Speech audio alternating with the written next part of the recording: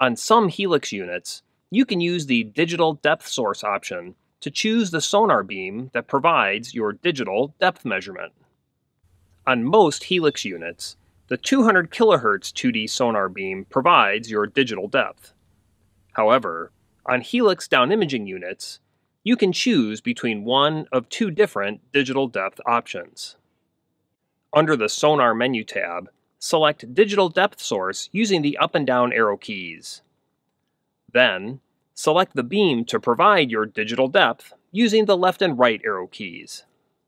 With the auto setting, your Helix will pick the best sonar beam for measuring depth. If fishing in very deep water, choose 2D element as the digital depth source.